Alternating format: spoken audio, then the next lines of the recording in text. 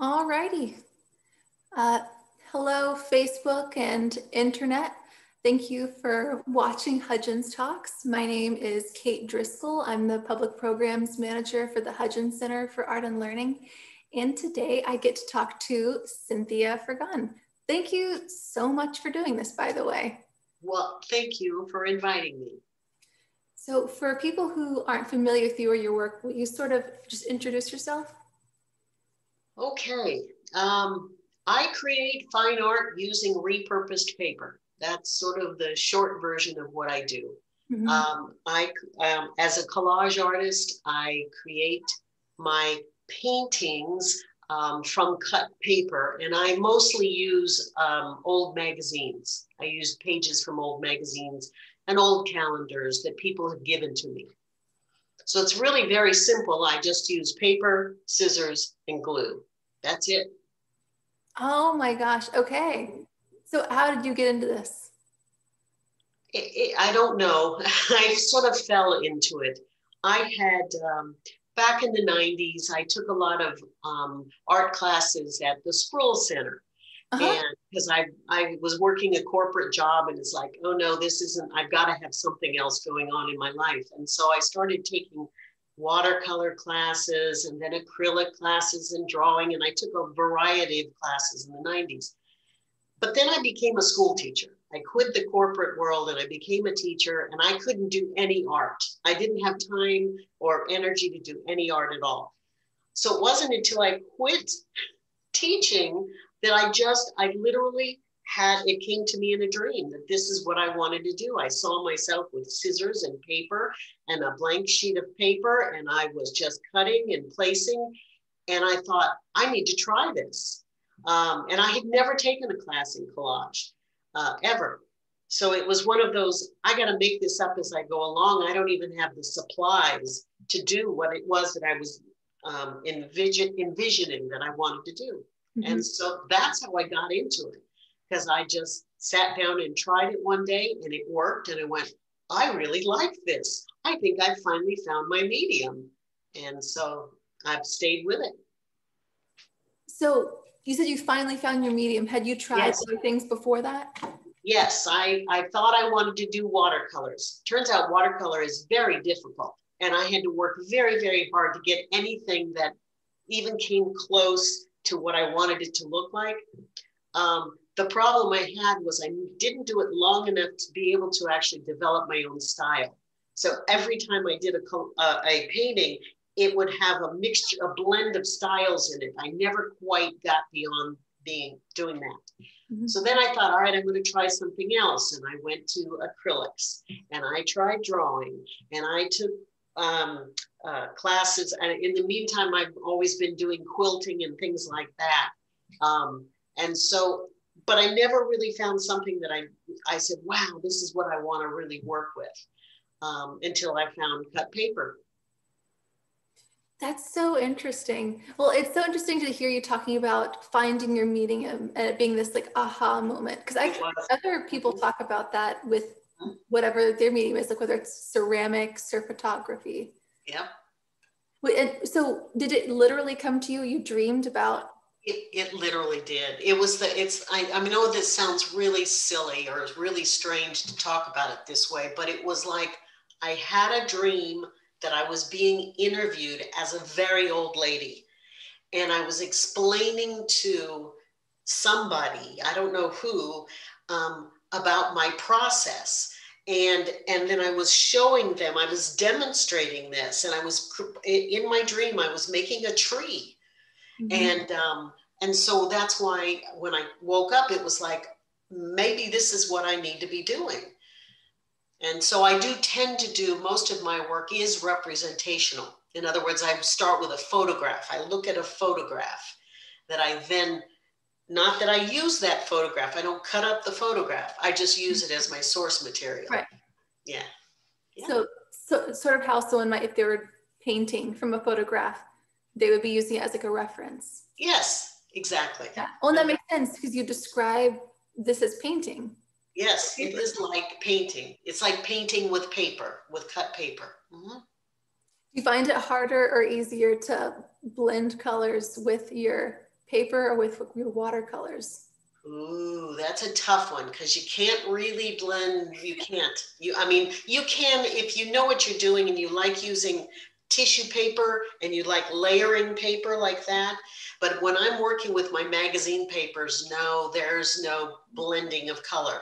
I have to find papers that represent the colors that I want to be using at any given moment.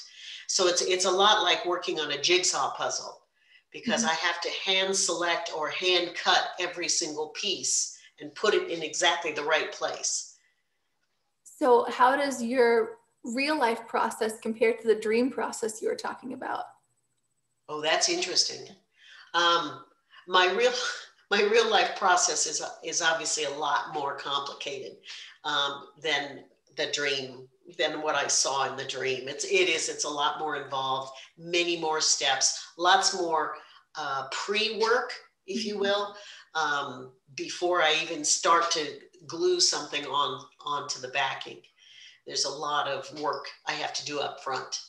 Like what? Well, first I have to select the photo. I have to know what I'm working from if I'm going to work on a representational type collage. So I have to find the photo. I have to determine how what size I'm going to make it. That's a key piece of information you got to have. So I have to decide what side size, what kind of backing I'm going to use, because um, there's several different things I could I could use. Um, then once I have that, I have to draw. I have to transfer that image somehow onto my backing. So I have to very meticulously draw it, um, at least the major shapes. I have to get those drawn. So I will always grid my backing. I put a grid on it and I put a grid on the photo and then I can oh. How, I reproduce the image on the on the backing. Then I have to select my papers. So then I have to go, okay, where am I starting? Okay, I always start in the background. So I'm going to start with this patch of blue sky over here. I need blues. So I have to pull out all my blue paper and go through sheet by sheet until I find a collection of the right colors. Yeah. Then I can start cutting. Then I start cutting shapes and I'll have a big pile of shape blue shapes. And then I can finally start gluing.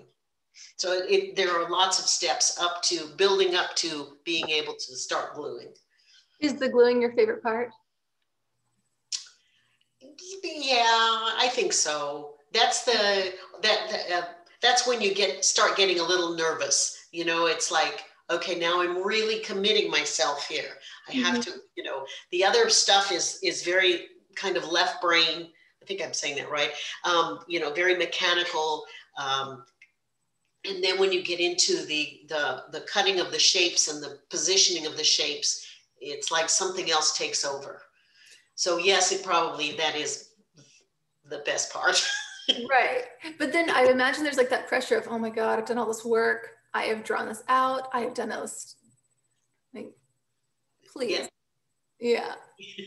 the good thing one of the blessings of, of collage and i think most collage artists will tell you this one of its its key blessings is that if you don't like something you've done, you just slap another piece of paper right over it. I mean, you can just cover up mistakes or areas. I, I need to redo that. You know, I'm all done, but I, I don't like that. So I cut some more things and I, I glue them on top until I get what I like, what I think looks best. And you said you like using like magazines and calendar type mm-hmm. paper. Did you yeah. try, did you try other stuff first, like the tissue paper, things like that? Not first. I actually started with the magazine paper because that's all I had when I'm in my first trials. That's all I had access to. Um, I have tried other papers. Um, you know, a lot of collage artists um, will use uh, manipulated papers. In other words, they'll they'll paint them themselves. They'll mm-hmm. use paper. Um, it may they may start with a nice watercolor paper, and then they'll paint something on it, and then they'll cut that up and that that's what they use. Some collage collage artists will even um, make their own papers and, and oh. dye their own papers, and and that's a whole nother technology that I can't even imagine. Um, some people use torn paper. Mm-hmm. So they like all the rough edges. I like the clean edges. But some people tear their paper. Mm-hmm. Um, some people use found paper. I was going to pull something out here. You know, the the inside of an envelope. Yeah. If you if you start looking opening envelopes and you see all that wonderful security markings that they do, all those patterns, they're wonderful for collage. So a lot of our a lot of collage artists will save things like that, found papers that they can then use in the future in collage. So I have done that. I have I have a box of those kinds of papers. Um, I'm not into painting my own papers. I, am just not. Um, uh, and then some people use what I call decorative papers. I, the rice papers and imported papers um, that you can buy at an art supply store. And they're beautiful and they're gorgeous colors and interesting patterns. And there's fibers sewn, uh, uh, built right into the, the papers. They're lovely. And some people like to use that. And I've got a whole drawer of those too. But I always end up coming back to my magazine papers. That's sort of my standard. So do you have a favorite do you have a favorite magazine you like cutting from or you're like ooh this is a good one oh yeah um, almost all of the high fashion magazines are uh-huh. Good and now again magazines are going out of out of mode. Um, they're getting harder and harder to find decent magazines but fortunately people have given them to me over the years. I mean huge stacks of them. Even oprah magazines are good the old oprah the original. Um, food magazines a lot of the food magazines are on nice thick glossy paper and they have close i love using close-ups of food um, like um, salads and things like that make wonderful trees you know you can you, can pull all kinds of wonderful things out of a close-up picture of a salad so so i just like i just like the the input i get from the magazine papers because of the patterns and the colors and the all of that. So does the um does the subject matter or the magazine paper matter more? Oh, the ma- the magazine pa- paper, the quality of the paper really, really makes it. If you want to enjoy that middle part of working on a collage where you're actually cutting and gluing, you got to have good paper. You mm-hmm. just gotta have good paper. Otherwise, you're fighting the the the meeting. You're fighting with it the whole time, and that's not fun.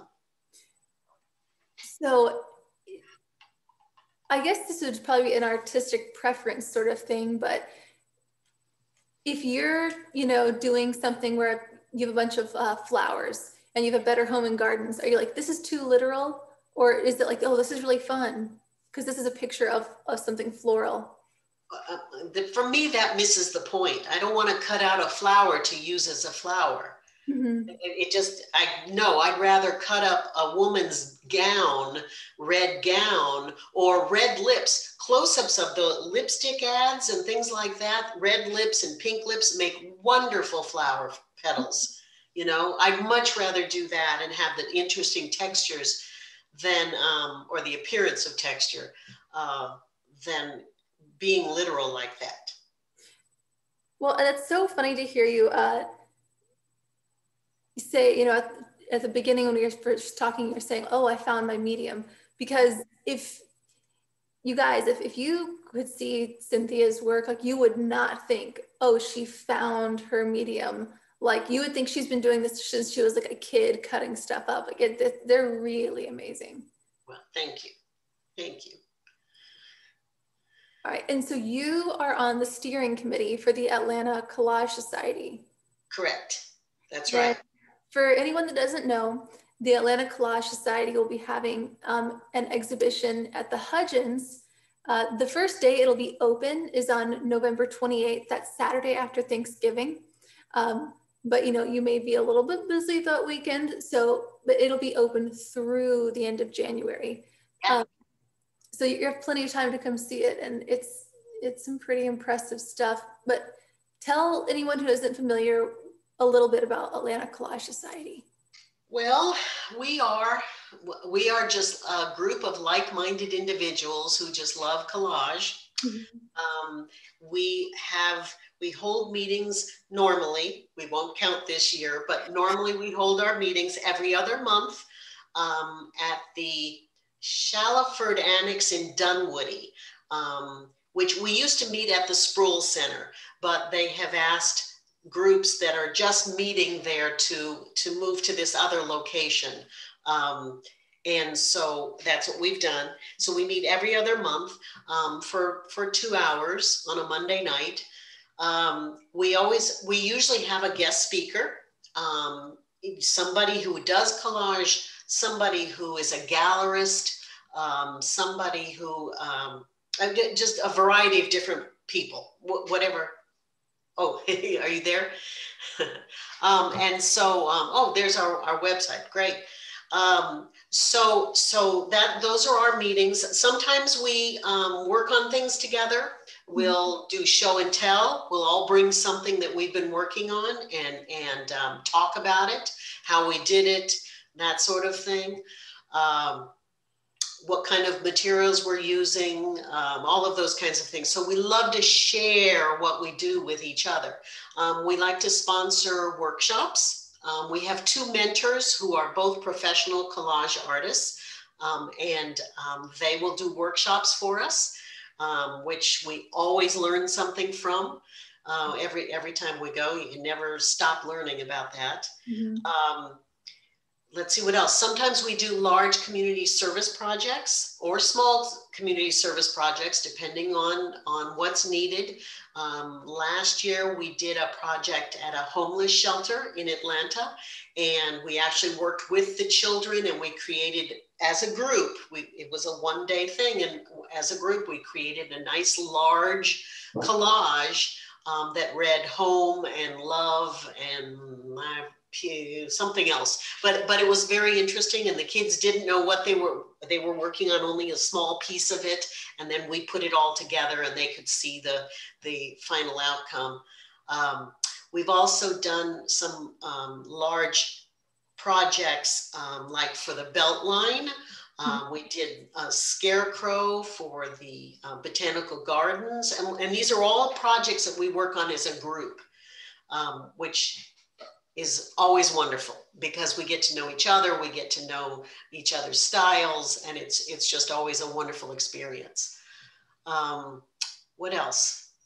What else should I tell you about our group? well, uh, tell us a little bit about the show that'll be coming up. Ah, um, yes, at the at the Hudgens, we're very excited about this, and it's shaping up to be a large show. Um, we're probably going to have 70 or more pieces of art, Kate. I hope that's okay. Um, I, I, okay.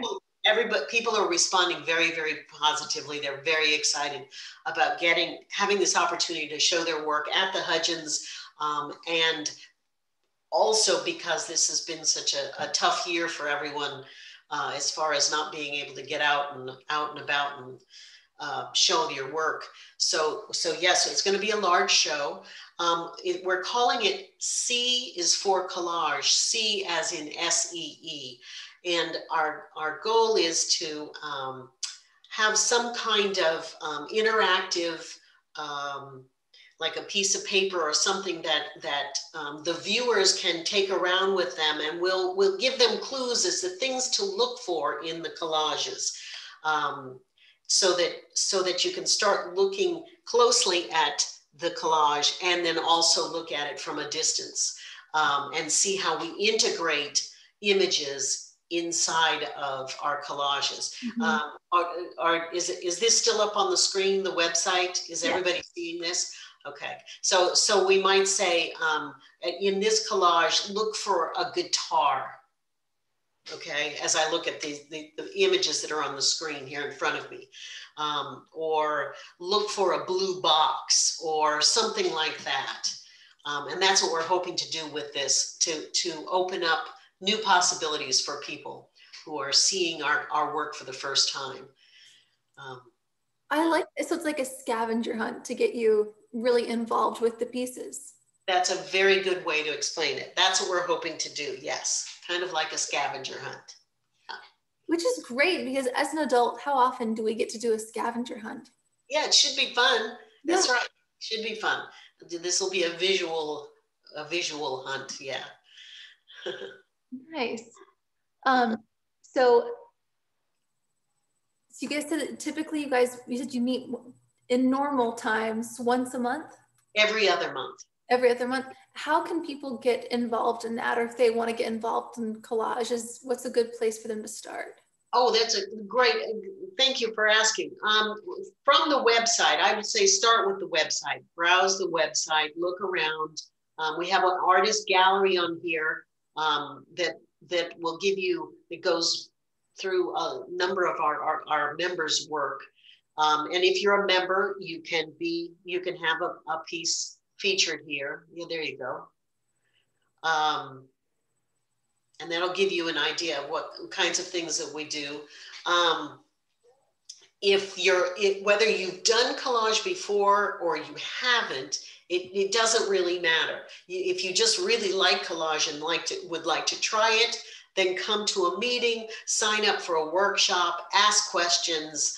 Um, and, and sometimes in our meetings, we will do, we'll have a little collage exercise. We'll, we'll bring in, you know, uh, three, three different colors of paper and scissors and glue and, and encourage people to create their own collage.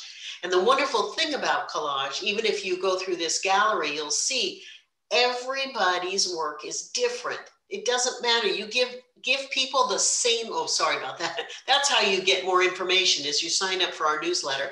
Um, but you give people the same supplies um, a group of artists, and every collage will come out entirely different. Everything will be different.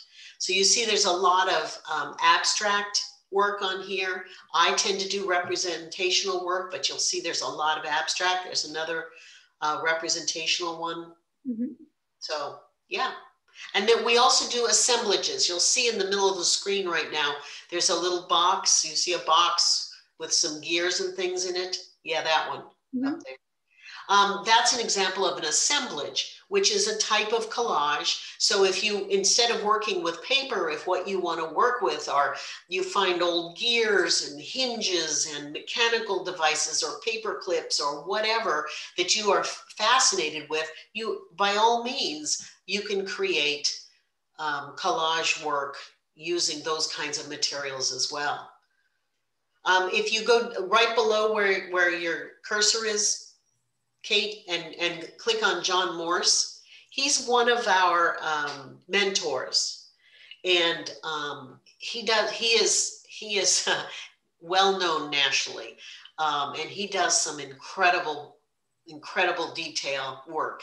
And he loves to use things like candy wrappers and um, food wrappers of all kinds. Uh, if you look closely at, at some of these, you'll it, it's amazing what what he's he can put together and what he can create. And he's going to have a piece at the Hudgens also as part of our show. Have you had a chance to see that, Kate? What he's dropped off? He came and he is actually super super nice guy. I really enjoyed talking with him.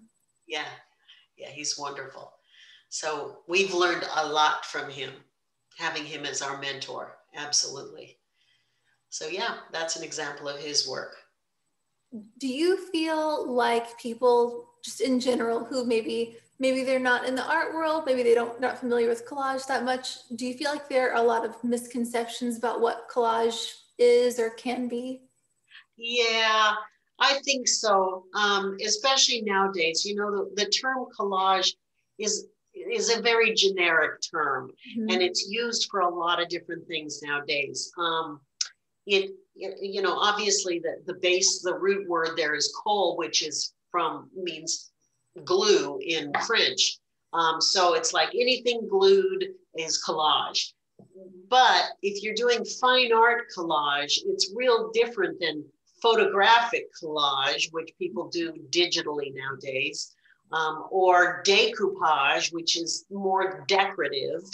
Um, so it, it is it is often misconstrued. Some people and there's a there's sort of a form of art journaling that's very popular right now which is wonderful.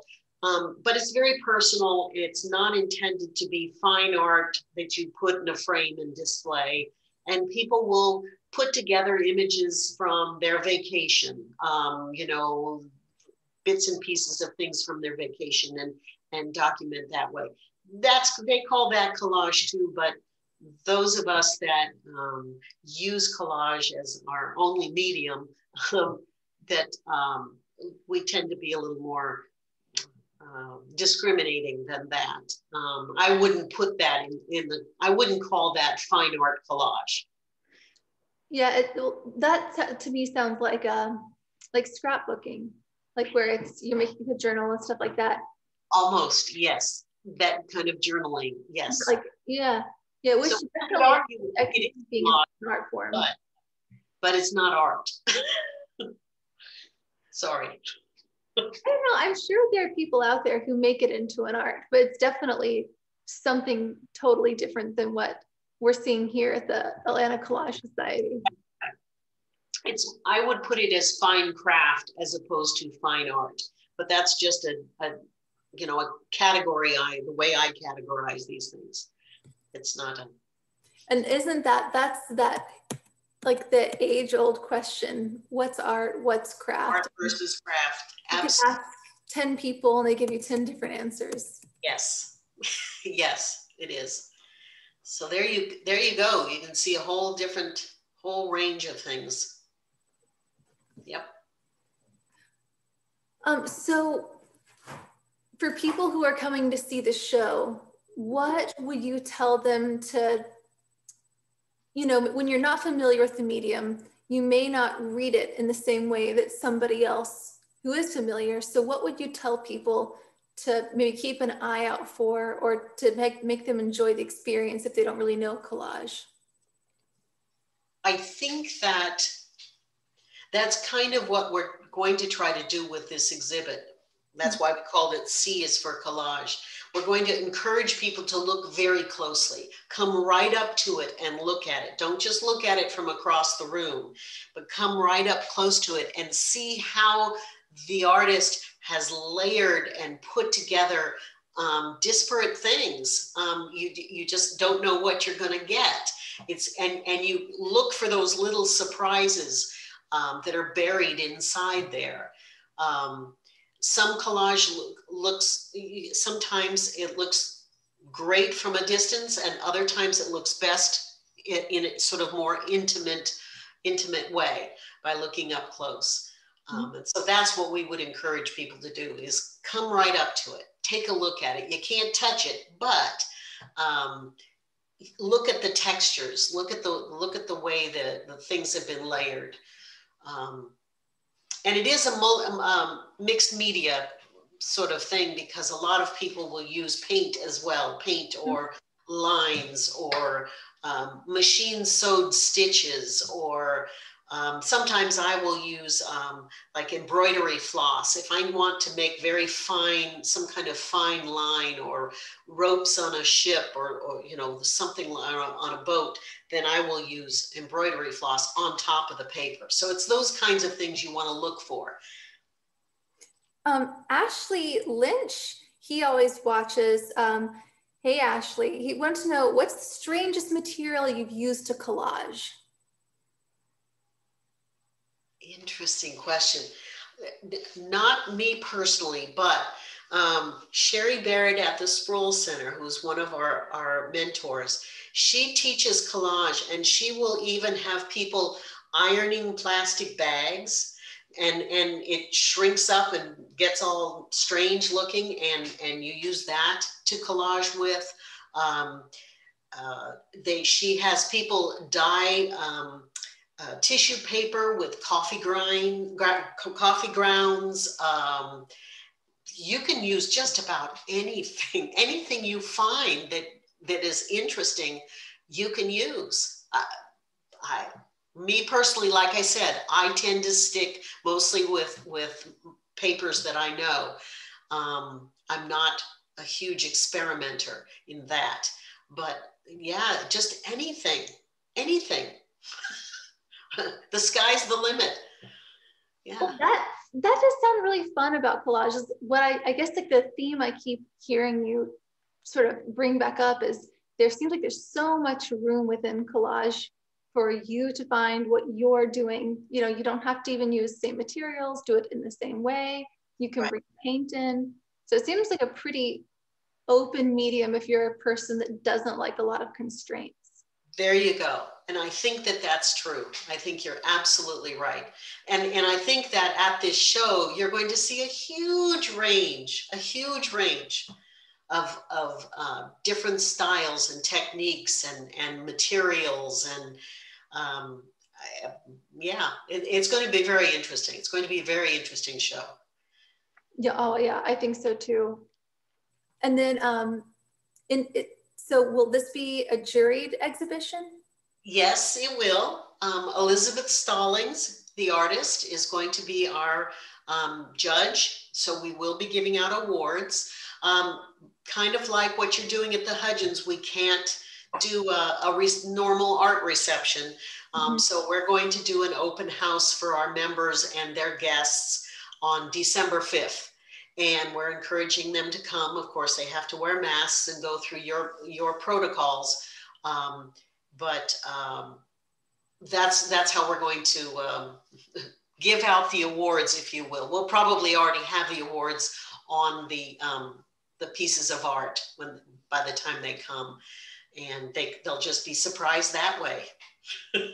oh, that sounds really fun. Well, and I am happy that I know we were talking about this before we went on air, but yeah, you're kind of walking the line between wanting something to be interactive for people to enjoy their work, but needing to be responsible and make yes. sure everyone is healthy and safe. Um, I, I think that's a good way to do it, the way you guys are doing it. Yep. Um, so, uh, and did you say, will the announcements be made um, like virtually, like emails will be sent out, or um, will it be on the 5th? It'll be well on the fifth. We will will have the. Um, I'm I'm envisioning that the ribbons will be hanging on the work mm-hmm. on on the fifth, and then I'll contact people via email and, and mail and all that kind of stuff to make sure that they get their awards and they get their their reward check. Um, and so, uh, yeah, that's probably how we'll do that. Yep. Um, and so as people can see on the screen, uh, the website is atlantacollage.org. Yep. But you guys have a Facebook or an Instagram people could keep up with? Yes, we do. We are on Facebook as well. Not Instagram that I'm aware of, but but definitely on Facebook. Yes, we also have a Facebook page that you can hang. You can sign up for. And and um, if you're interested in the Collage Society, sign up to get our newsletter. We have a newsletter that comes out every other week via email. And uh, if you want to join, there's a uh, form available on the website. Our dues are only $25 a year. Um, and uh, so, you know, join us. Come on out. and if you guys are watching, as you can see, it'll pop up to offer you the newsletter. So it's super easy to get in touch and start being in the loop. Yes. Or anything else you'd like to just say to people about collage or getting involved? Are there any good resources online or um, places to take classes? Places to take classes, as I mentioned, um, at the Spruill Center for the Arts um, up in Dunwoody, which has been there forever as far as I know. um, Sherry Baird um, our mentor teaches collage classes there. She teaches a lot of different classes, but collage is one of them. And she is one of our original founding uh, founding mothers, I guess. I guess you'd call I love that. I think it was her idea. The, the whole Atlanta Collage Society came out of her and a group of her stu collage students way back in 2006, believe it or not. And so uh, yeah so she's still there and she is she is the expert the local expert for sure and is she um is she still on the steering committee no she's not on the steer we call on her when we need her yeah she's, she's already put in her time oh yes she has absolutely, absolutely. Yeah. yeah and she and john morse both are are very very busy and so we try to minimize how much pressure we put on them, but they are have always been wonderful about coming coming to us when we need uh, support or we need one of them to come to a meeting and, and um, give a give a little presentation or whatever. They've they're both very responsive, and, and wonderful to work with. We're very fortunate to have them. Um, and then do you have a website that people could check out to see your work? Sure. I'm just cynthiafrigon.com. It's real easy. That is easy. Well, you, good job snagging that website. In fact, if you click on that, you should be able to get to it. It's there down at the I think this piece was in one of our jury member shows, wasn't it? It might have been a few years ago, yes. It looks familiar to me. Yes, if you click on cynthiafrigon.com, what it brings up, and I don't know how many people out there are aware of, this is called dailypaintworks.com. And Daily Paintworks, I've been with them since 2013 now. And this is where I keep my online gallery. Um, and um, it's they push um, images out to their their audience, which I think they have like 10,000 or more. I don't know. Mm-hmm. I don't quote me on that. People that receive um, emails from them every single day with about a hundred thumbnail images. And then you click on the, the image and it takes you to that artist page. And so it's a wonderful, wonderful um, place to store your art um, and display your art and sell your art from here. It is e-commerce website. Um, and um, plus they do the advertising for you. So it's really wonderful. It um, sounds like a more, uh, it almost sounds like a more social media version of Pinterest or not Pinterest, um, Etsy, where like you're getting this email of all the stuff and you can buy it um, but it's coming right to your inbox, which maybe Etsy has that function. I just don't know about it. Yes, uh, and, and so it is pushed out. Yes, every single day. That's why it's called Daily Paintworks. Yeah. But and the advertising for you too is really cool. It is. It's That's wonderful. pretty neat. And and they have they provide a, a grid where you can track um, it, your entire inventory and whether it's sold, who bought it, um, all of those kinds of pieces, all the status of your art and everything. It's wonderful. Yeah. And is this for, did you say this is for like all sorts of artists or just? Yes, no, it's, it's for all artists.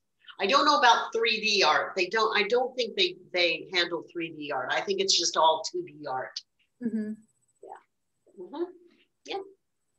Well, all right. That is, it is about time for us to wrap up. Um, I just wanted to thank you again for taking the time to do this. We're at the Hudgens, we're really excited for the show coming up. Well, good. We are too. We are too. Yeah. Yes. Well, all right, guys. Um, thank you for watching, everybody. And thank you, Cynthia, for coming on. Um, we will see you guys next time. Um, have a great day and you know stay safe stay healthy stay kind Bye. thank you, Kate. Oh, thank you.